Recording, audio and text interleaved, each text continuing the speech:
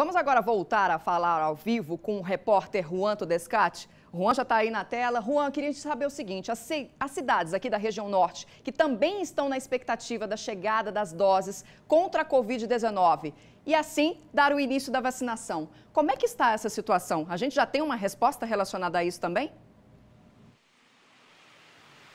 Pois é, Kelly, tem o posicionamento de algumas prefeituras. Por exemplo, a de Jaraguá do Sul, uma das maiores aqui da região norte, já informou que é, aguarda o número de doses que serão enviadas para poder fazer o plano de vacinação, de que forma que isso vai acontecer.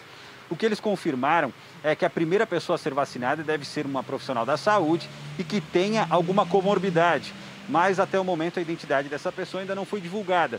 Outro detalhe dado pela Prefeitura de Jaraguá do Sul é que eles vão utilizar nesse primeiro momento a metade das doses que forem enviadas lá para a cidade. Ou seja, se chegarem 3 mil doses, vão utilizar 1.500. Por quê? Porque existe a segunda dose. Duas a três semanas depois da primeira tem que ser aplicada a segunda dose. Por isso eles querem garantir as duas doses para essas mesmas pessoas que fazem parte aí de grupo de risco ou que são os profissionais da saúde também seguindo o calendário nacional de, vacinação.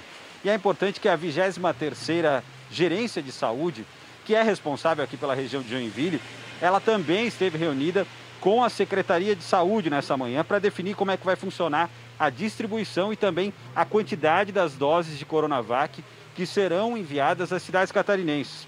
Maior, na maior cidade do estado, as doses devem chegar através de uma aeronave e devem ser escoltadas pelo 8 Batalhão da Polícia Militar até a Prefeitura de Joinville.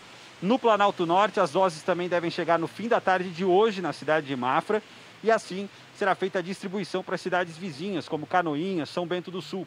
Aliás, São Bento do Sul até convocou uma coletiva para as 6 horas da tarde, mas a informação, por enquanto, é de que a primeira pessoa vacinada lá não deve acontecer hoje, isso ainda, Kelly. Voltamos ao estúdio.